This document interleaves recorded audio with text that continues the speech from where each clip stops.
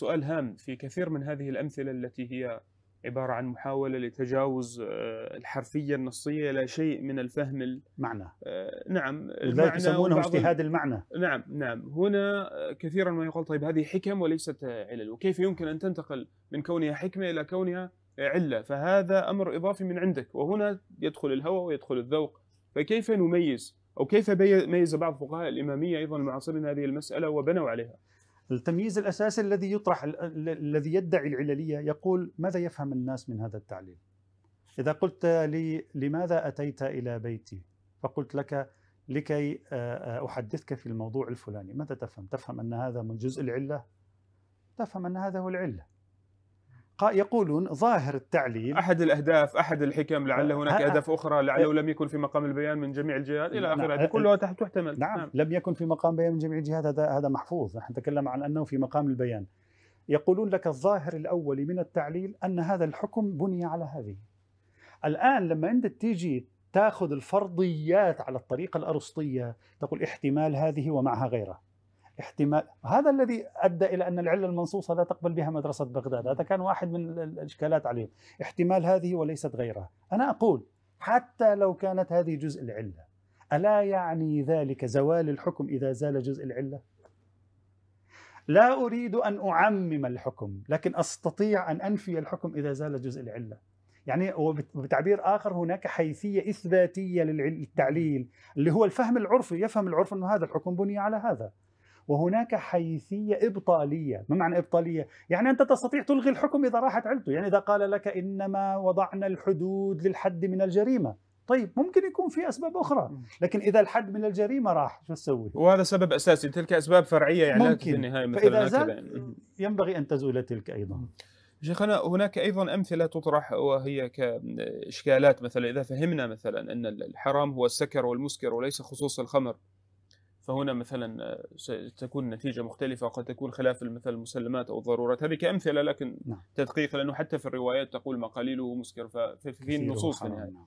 لكن مثلا في صلاة القصر كيف يمكن استكشاف وهناك بعض الاجتهادات حول تقول إنه العلة هي التعب والنصب وبالتالي السفر بالطائرة الآن لا يوجد آه، تعبا طيب لو كانت المسافة أقل من 22 وظروف السفر كان فيها تعب جدا وكان يوم ما أعرف مشمس إلى آخره هل توجب القصر هنا وبالتالي هذا يؤدي إلى الفوضى وال- وال- والاستحسان. كيف يعني يعني وأنت تقول العلة هي التعب فما ما في معيار واضح هنا يعني. نعم.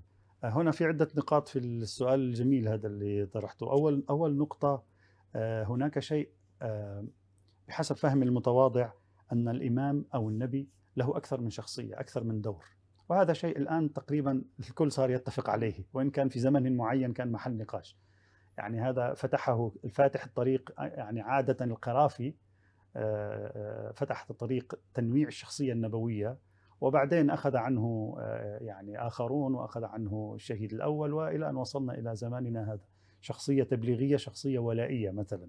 حتى وصلت عند ابن عاشور إلى 12 شخصية للنبي. فواحدة من الشخصيات التي أزعم أنها موجودة يقوم بها النبي ويقوم بها الإمام. هي الشخصية الموضوعية سميتها أو الشخصية المصداقية يعني هي الشخصية التي تنظم تطبيق الحكم على أرض الواقع. فبيجي الإمام يقول السفر 22 كيلومتر مثلا بس خوفا من إنه يصير في اضطراب وعدم وضوح عند الناس يقولون خلاص 22 هو حالة نوعية مسألة عامة. تنظيم قانوني آه، يعني مسألة تنظيم قانوني هذه حالة نوعية خذوها بعين الاعتبار. هذه نقطة. فممكن أقول أنا ما أقول في السفر هذا أقول ممكن في بعض الأشياء يكون دور الإمام فيها تنظيم في ذلك الزمان للمفهوم الحقيقي بحيث يستطيع الناس أن ينضبطوا ولا يحدث لديهم فوضى وتشوش في هذا الأمر. هذه نقطة. نقطة ثانية. لنفرض أنه آه، ما كان في انضباط.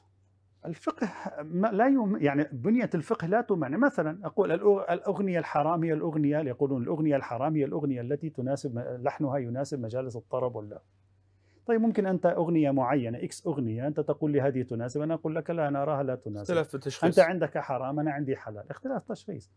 هذا الكوب أنت تقول لي طاهر وأنت تبني على أنت أنا أنا أعتبره نجس لا أشربه. مثلا.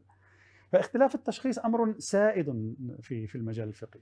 ثالثا هناك شيء في في أصول الفقه الإسلامي وهو شيء يعني فكرة مهمة جدا ما يسمى بالنوعي مقابل الشخصي. يعني عندما أقول مثلا التعب هو معيار القصر في السفر. مقصود التعب النوعي. ما معنى مثل مثل ما يقولون أحيانا الحرج مقصود منه الحرج النوعي في بعض الموارد لا الشخصي. طبعا هذا يحتاج إلى دليل. فما معنى النوعي؟ يعني نجي إلى أهل الخبرة اليوم. أي نوع من التعب من السفر يوجب لغالب الناس تعبا؟ فيقولون الذي يوجب لغالب الناس تعبا مثلا أن يسير عشر ساعات في مسيرته. سواء بالسيارة بالكذا إلى آخره. غالب الناس مثلا يتعبون. فنقول نحدد عشر ساعات نقول للناس عشر ساعات هو الحالة النوعية وبالتالي ابنوا عليها مثلا. أو المسافة الفلانية ابنوا عليها أو الوسيلة الفلانية ابنوا عليها. هذا المقصود. فقابلة للضبط أقول. ليس يعني إذا فهمنا من هذا النص أنه تقنين فقط وبالتالي لا نحتكم إلى نصيته 22 ليس لها موضوعية هي فقط وإنما نحتكم إلى نعم. معيارية التعب النوعي وبالتالي نعم. ممكن في زماننا يختلف يختلف تطبيق هذه المعيارية طبعا توصلنا إلى النتيجة أن العلة التامة طبعا طبعا هي طبعا التعب يعني وهذه كيف نتوصل لها مثلا ممكن نعم. واحد يقول لك أنا أحاول فقط أطرح الفكرة نعم. لا أريد أن نعم. نعم. مثلا ممكن واحد يقول لك عندما تحدث الله سبحانه وتعالى عن الصوم في السفر وقال بأنه آه، فعدة من أيام أخر. ماذا أعقبها بقوله ماذا؟ قال آه، يريد الله أن يخفف عنكم آه، تعبير يريد الله بكم اليسر. يريد الله بكم اليسر ولا يريد بكم العسر. إذا نفهم أن التخفيف في السفر من باب التيسير وأن عدم التخفيف من باب العسر. فبيأخذ الفقيه إشارة إلى أن موضوع الإفطار في السفر الخصوصية فيه على ما يبدو من الإشارة القرآنية هي خصوصية تعب كانوا يتعبون. مثلا رواية أخرى يقول له أنا أذهب إلى النقطة الفلانية إذا ذهبت بمسير القافلة يعني الجمال فمثلا أنا مثلا تأخذ معي آه، وقت كذا وإذا ذهبت بمسير الفرس يأخذ معي وقت كذا. قال له إذا رحت بمسير الجمال قصر وإذا رحت بمسير بالفرس نفس النقطة يقول له أتم. أو يسأله عن مثلا عرفة يقول السفر إلى عرفات مثلا فيه قصر أو لا يقول له أي سفر أشد منه؟ قصر. هذا يعتبره الذين يقولون بالتعب يعتبرونها إشارات عللية مقاصدية هو استقراء وجمع الشواهد والقرائن إلى يعني أن القصة هي قصة التعب.